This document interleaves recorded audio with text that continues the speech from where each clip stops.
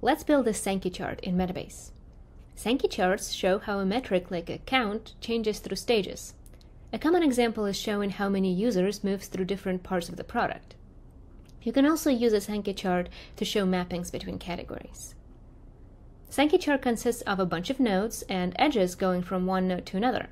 And so to build this chart in Metabase, you'll need a query that returns columns with source and target nodes, and a column with a metric, where each row represents an edge from source to target. As long as your data is in this shape, whether coming from a SQL query or summarized in a query builder, you'll be able to build a Sankey chart. It's easier to see on an example. Here's some data storing every page visit to an example e-commerce website, like homepage, search, checkout, and so on. We want to track people through this journey. For example, how many people see the product and then add it to cart, and identify where they drop off. The data for page visits has referrer path, where people are coming from, and page path, where they end up. So we'll use the referrer path as the source node and page path as the target. And my metric will be just the count of visits.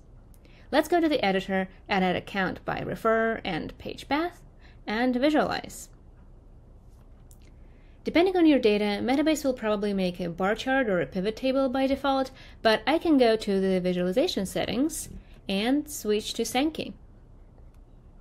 And that's really it. Take a look at the result. For example, I have this edge from cart to checkout, and if I hover over it, I see the number of people going from cart to checkout, which corresponds to a row in the query result.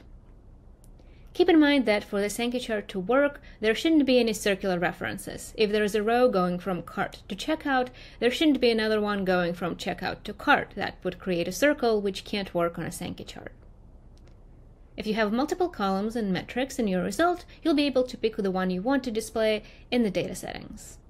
This is also where you can format how the metric is displayed. For example, I can make it a currency or add a suffix like visits and I see it appearing in the tooltip.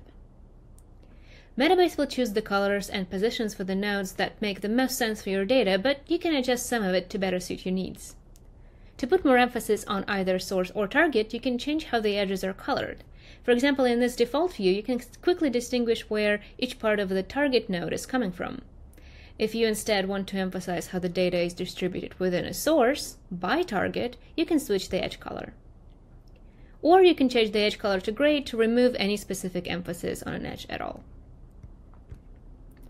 Another way to add emphasis to your chart is alignment. In my data, there are several entry nodes and several exit nodes.